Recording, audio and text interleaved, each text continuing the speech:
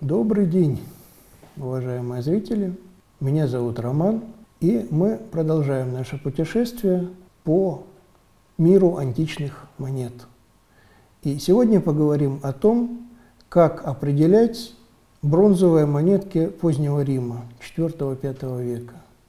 В какой-то степени также это будет применимо и к бронзовым монеткам III века.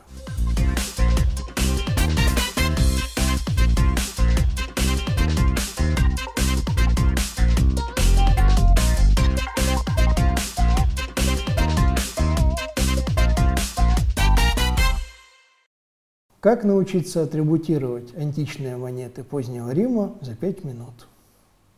Среди нумизматов распространено мнение, что атрибуция антики – дело сложное, требующее больших знаний и опыта. Но для монет позднего Рима после денежной реформы Диоклетиана это не совсем так. Они достаточно хорошо каталогизированы. Основным каталогом для них является РИК Royal Imperial Coinage – объемный десятитомник, составлявшийся с 1923 по 1994 год. Эти монетки имеют надписи на латыни, содержащие все, что нужно для атрибуции. Я заранее прошу извинить тех, кто сведущ в теме антики, за неизбежное упрощение, которое достаточно заметное. Но мой рассказ для тех, кто только начал заниматься антикой или вовсе ранее не соприкасался с этой темой. Конечно, существуют многочисленные исключения, но все-таки в 90% случаев описанный алгоритм атрибуции сработает так, как надо.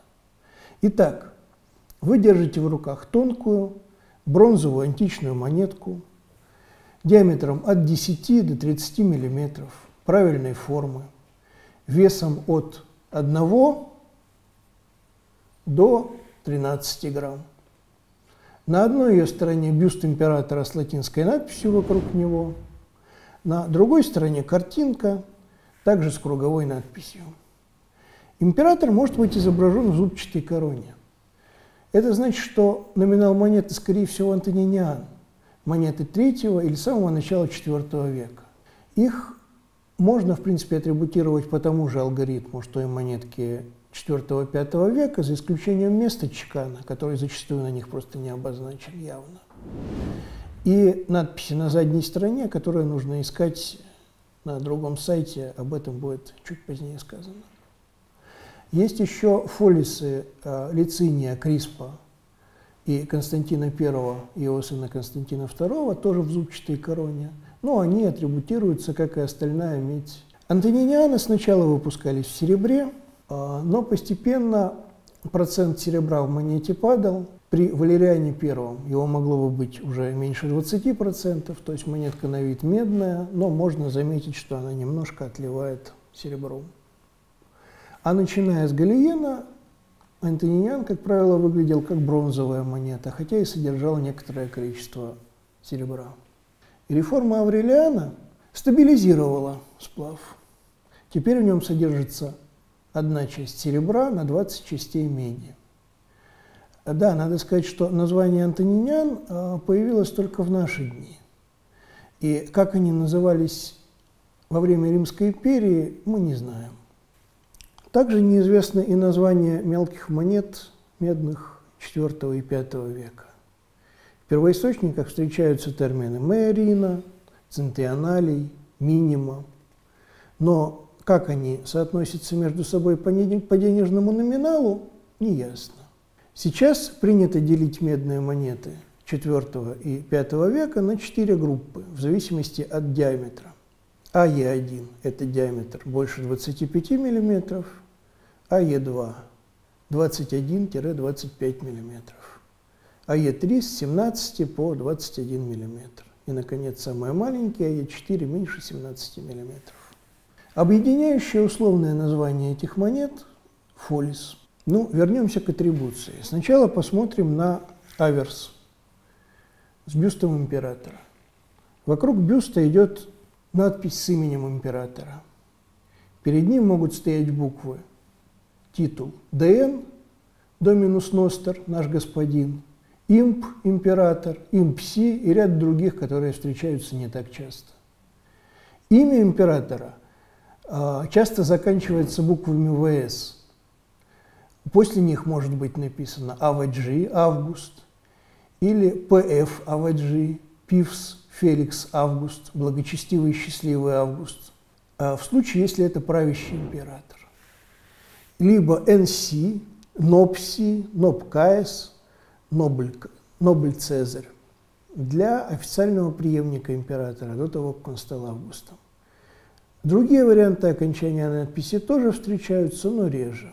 Теперь, когда мы знаем имя, можно посмотреть на реверс. Типов надписи на реверсе много, поэтому поначалу проще найти надпись через картинку на реверсе.